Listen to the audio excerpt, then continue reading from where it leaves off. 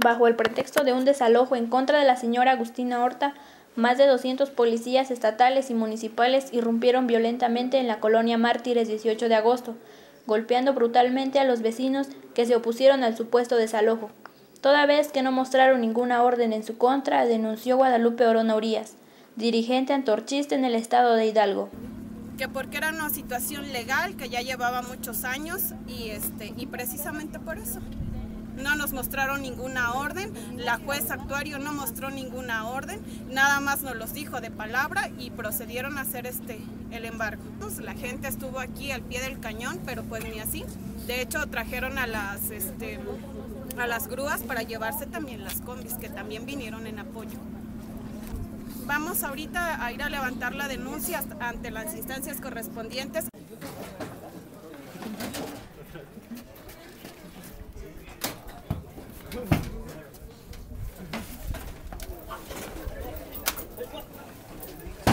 Corona Urias aseguró que dicho desalojo no tiene ninguna justificación legal, pues la señora Horta tiene más de 12 años con la posesión de dicho inmueble. Además es una colonia en proceso de regularización, es decir, nadie más que Antorcha tiene documentación que acredita la propiedad de toda la colonia, pues la escrituración está en proceso en el Instituto de la Vivienda.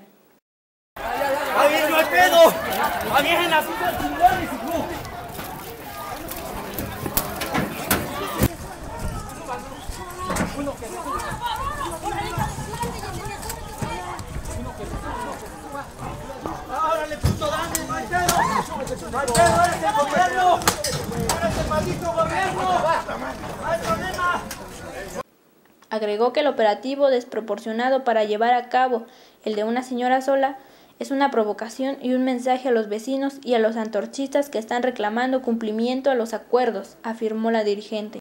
El violento operativo culminó con 24 vecinos lesionados, quienes fueron atendidos en el sanatorio de Ortega de Pachuca.